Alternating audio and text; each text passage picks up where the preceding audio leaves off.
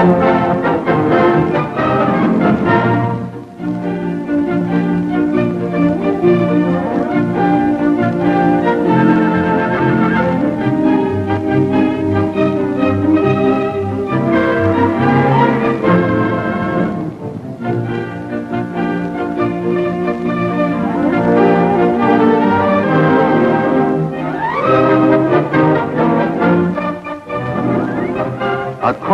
is determined by the direction in which the wind is blowing across the landing line in relation to the final approach heading.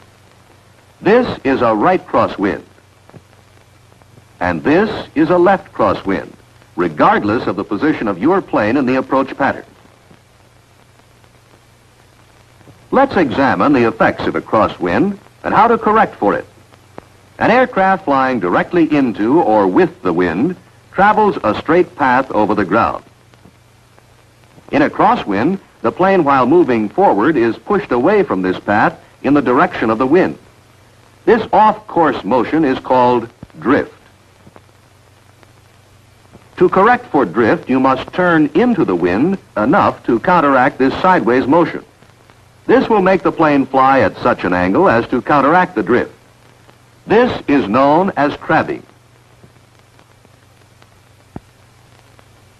The amount of crab necessary will depend upon the strength of the crosswind.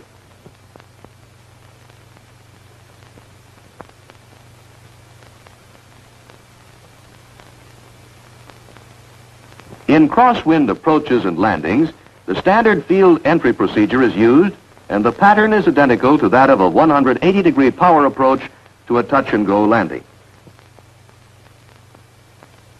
If it is a right crosswind blowing you away from the landing line, the bank of your approach turn is fairly shallow and your power reduction is more gradual.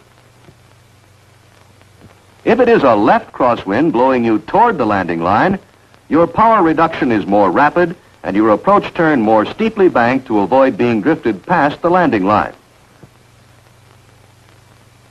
Also remember that on the downwind leg, to avoid drift that forces you away from the landing line in a right crosswind and toward the landing line in a left crosswind, you must set up a crab by making a balanced turn into the wind and leveling your wings when you have achieved the desired track paralleling the landing line.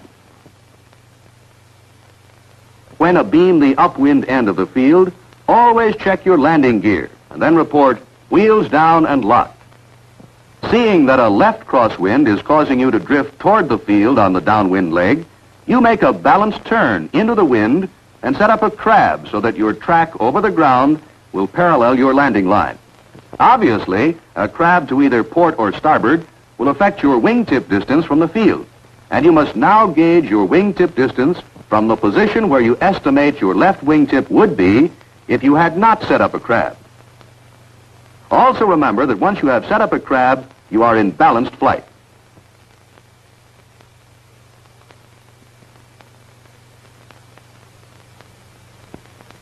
As you make your approach turn, you reduce your power and adjust your bank according to the direction and velocity of the wind. In a strong left crosswind, such as this that is blowing you toward the landing line, your power reduction is faster.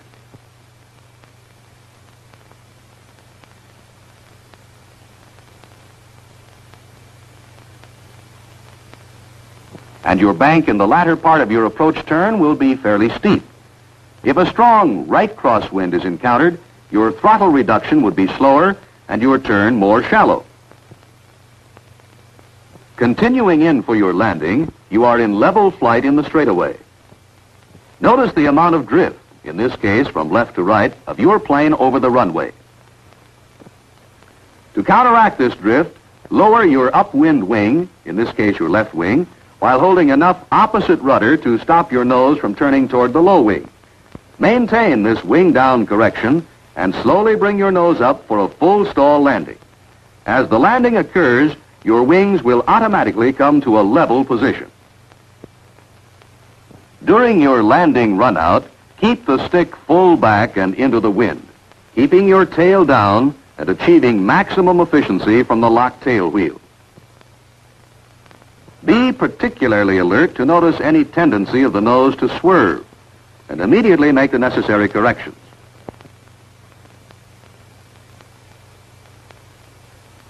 Here is how a crosswind landing with correction for drift should look. Coming in for a landing in a strong left crosswind, the plane is in level flight in the straightaway. As it begins drifting across the runway, the upwind wing is lowered and opposite rudder held to keep its path straight. Making a full stall landing, its wings level off, and with the stick full back and into the wind, the plane begins its run out. With your landing run out under control, take off again, still holding the stick into the wind and using rudder pressure to avoid weathercocking and maintain a straight heading as you advance throttle.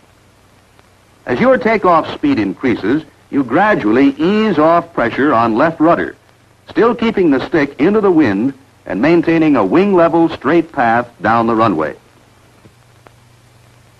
As the plane leaves the ground, it will begin to drift to the right. To compensate for this drift, set up a crab by making a gentle, balanced turn into the wind, thus maintaining a straight path over the ground. Don't use excessive rudder in the turn, which would dangerously reduce performance at this critical time. With the drift corrected, continue making a normal wing level climb out of the field.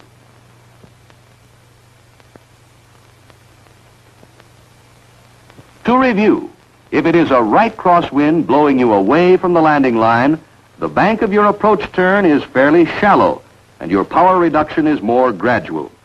If it is a left crosswind blowing you toward the landing line, your power reduction is more rapid and your approach turn more steeply banked to avoid being drifted past the landing line. To follow a straight path over the ground in a crosswind condition, set up a crab by making a balanced turn into the wind then leveling your wings when you have achieved your desired track. In landing, to counteract your drift across the runway, lower your upwind wing while holding enough opposite rudder to stop your nose from turning toward the low wing. Keep your stick full back and into the wind during your landing rollout. When you are airborne after takeoff, Compensate for your drift by making a gentle, balanced turn into the wind, thus setting up a crab which is maintained as you continue your climb out of the field.